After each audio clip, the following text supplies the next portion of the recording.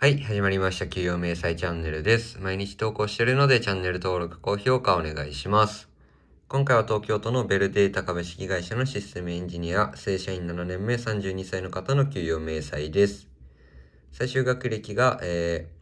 ー、大卒で、仕事内容は BI ツールや電子帳票ツールなどのセールス、デリバリー、えー開発、保守サポート、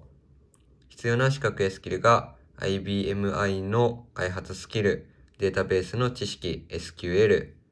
勤務時間が1日7.5時間、残業1時間、収入が月収35万、年収480万、ボーナス60万、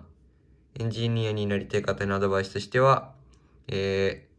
必要なスキルなど気にせず会社に入ってみて、実業務で経験を積むことが大切とのことです。で給与明細で、えー基本給21万4500円、住宅手当2万、所要調整金5万3000円、住宅手当5000円、みなし時間外5万2000円で、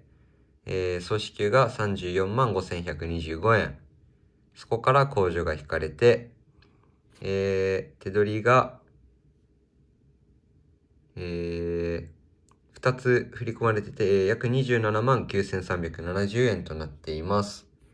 えー今回は東京都のシステムエンジニアの方の給与明細でした。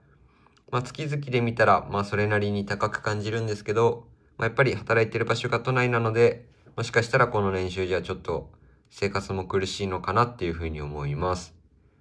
まあ、ただ、えー基本給も多分そこそこ上がっていくと思いますし、えーまあ、どこでも働ける仕事なので、まあ、きつかったら郊外に出たらいいっていう感じの職業なので、まあ、えースキルを身につけることが大切な仕事だと思いました。今回はこれで終わります。チャンネル登録、高評価お願いします。